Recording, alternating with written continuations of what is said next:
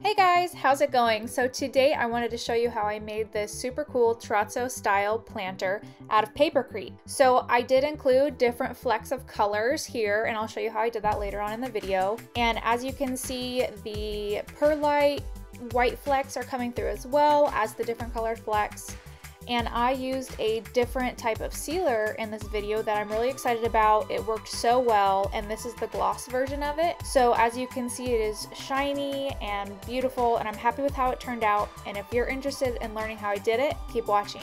So the first step was creating the different colored flecks and I did this by using a product called Thinset.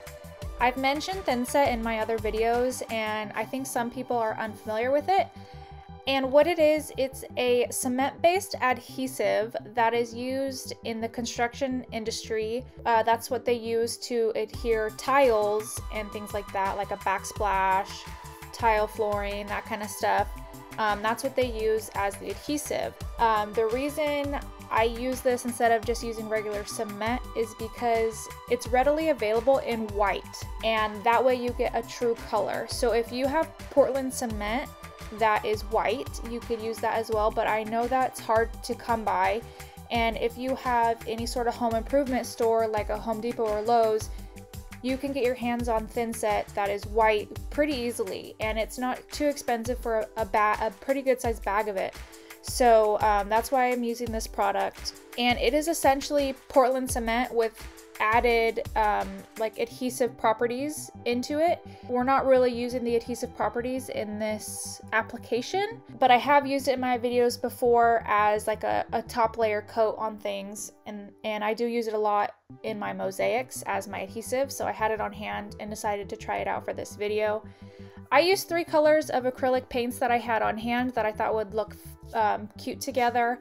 What you want to do with your thin set is read what your package says. Every package is going to be a little bit different, but at this point I just kind of eyeball it with the water and I get it to a point where actually I would say it was more on the liquidy side for this application because you are gonna eventually you'll see that I spread it on parchment paper pretty thin so that when it's dry, it can be crumpled up into different little pieces. I would say mix it more on the watery side, maybe like um, like a yogurt or something consistency rather than like peanut butter consistency. Once you've mixed it thoroughly, making sure that all of the chunks are out. I mean, I still had some chunks. It's kind of hard to get all the chunks out, but you want to try and make it as smooth as possible. And then you can add your color. And some people do say it's best to let it slake, which is just letting it sit for like 15 minutes so that all of the the chemicals are doing what they need to do. And then I laid parchment paper down and I smoothed it over the parchment paper. I could have almost doubled what I made. Um, I think based on how it turned out, I could have used even more of these little flecks. Uh, the thing is with this is you have to let these dry first. So by the time I was going in with the paper papercrete, it was a little bit too late to make more of them. But I would say err on the side of making more than you think you might need because you don't always you don't have to use them all um, right away. Like you could actually make these well in advance and make like a bunch of different colors well in advance to use in your projects later on. So this is what it looked like when they were dry. It took a couple days for them to dry because the weather right now is kind of cold, so they're not drying out as quickly as they probably would during summer. Um, so once they're completely dry, they'll be like crispy, crunchy, and this is really fun actually to just um, fold over the paper and crumple it up. I prefer the look of having different sizes, so some big chunks, some small chunks, and have kind of variation in sizing. So then I use this wooden spoon to kind of break apart some of the really big chunks and got it to the sizes that I wanted and this is how it turned out. I think they look really cool all together. I'm kind of obsessed with this. I'm excited to try it with a bunch of different color combinations. So now that that part's done, it's time to actually get the papercrete going. So this is the mold that I'm going to be using to make my pot and I've used it in a previous video and I really like the size. And if you're not new here, you know what comes next. It is the papercrete recipe, which is three parts paper pulp, two parts Portland cement, and one part perlite. I seem to get a lot of questions about perlite on this channel. People ask what is it and also can you replace the perlite with styrofoam beads. So perlite is something that is used mainly in gardening so I think it is a like type of volcanic glass that aids in water retention but also drainage. So it keeps the soil moist but also like it doesn't keep it super wet. So that's why people will add it to their soils as an amendment type of thing. It is very lightweight and it totally looks like little styrofoam beads like that you would see in a beanbag or something. And people ask me, I get a lot of comments on this channel, can you replace the perlite with styrofoam? And the answer to that is I don't know. And I feel like in theory, yes. The only thing that would be different is that it is not like styrofoam doesn't absorb water like perlite does. So it would kind of change, it would change the properties of the papercrete mixture. I don't think that would be a bad thing, but I'm gonna have to test it out and I will be testing it in an upcoming video. Um, we'll see how it works in the papercrete mixture. So once you have the recipe all mixed together and well combined, it's time to add the fun little chunks of color.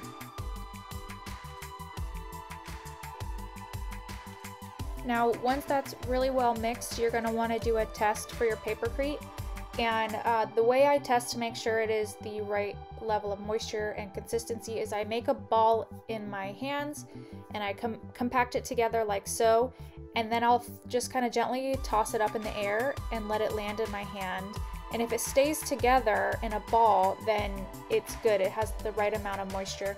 But if it kind of crumbles, then you know it's not wet enough. And then also if it just kind of like splats, you know it's too wet. So that's kind of how I gauge the consistency that I like to use um, with the papercrete. I always think it's a good idea to use a release agent in your mold. I'm using just cheap canola oil spray. You can use whatever you may have on hand like um, Vaseline, just, you know, olive oil, whatever you have. Just make sure it's a nice thin coat then I mix the papercrete one more time. And if you've seen my videos before, you know that I like to use what I call the hamburger patty method or hamburger method. So I take a handful of the papercrete and I combine it together in my hands to make sort of like a patty. Um, and then I will put that, I start at the bottom of the mold and I compact it down all the way around the bottom. And I like to do about like an, an inch, maybe three fourths inch and as you can see, I'm just putting those patties on the bottom and compacting it down. Um, the more you compact it down and really press it up against the bottom and the sides, the less of those, I guess, like divots on the outside that you will see in the finished product. So I also like to use the lid of my spray to really push it down in there and make sure it's nice and compact. And then basically from there, I'm just doing that same method with the hamburger patties and putting them on the sides of the mold all the way to the top.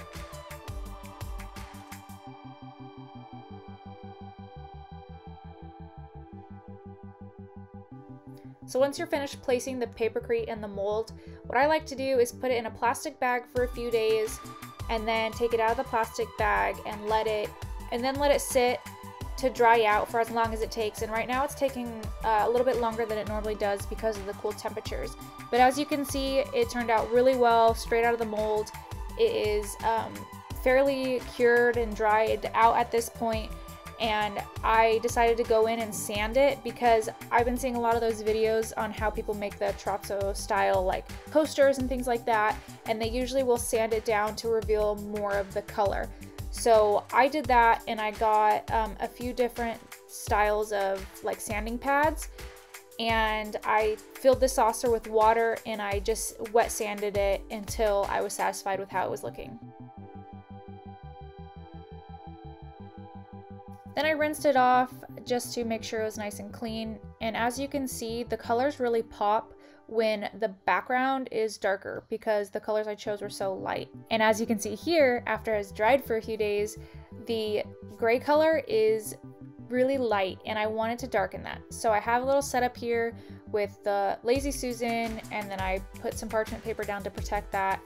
And then a lid so that I can, so that it's elevated a little bit and I can paint all the way down to the bottom really easily. Um, because, I mean, it looks cool like this, but I wanted the gray to be a little bit darker. So in future video, I'm going to try to do the base darker, so color the Papercrete mixture from the get-go and see how that looks. But I also really wanted to try out a new sealer that I got. I actually bought it specifically for bird baths because on their website, and I will link the article down below, it's Ghostshield's um, product, and they have two specific products that they have that they recommended in this article for sealing bird baths. So I ordered the sample sizes of both of those, and this one I'm using today in the video is their gloss version. So this will have a gloss sheen to it. So total, I did three coats of this. And I think because Papercrete is so porous, it just was absorbing it a lot more than probably like just regular concrete would. So on this first day, I applied two coats and I let it dry overnight and this is what it looked like. So it definitely did darken it, but as you can see, there are parts that are shiny and then parts that aren't. Um, so the darker parts are shinier than others, which is a cool effect, but I wanted the whole thing to be dark and shiny. So I added another coat and this time I used a larger brush, so it made it go a lot faster.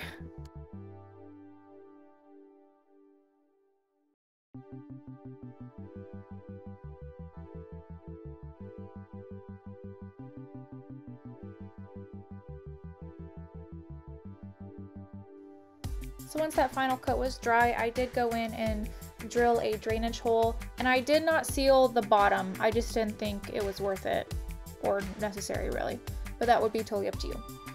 Ta-da! So this turned out better than I could have expected. I think the gloss is perfect, but I am excited to try the non-gloss version as well. So look for that in an upcoming video.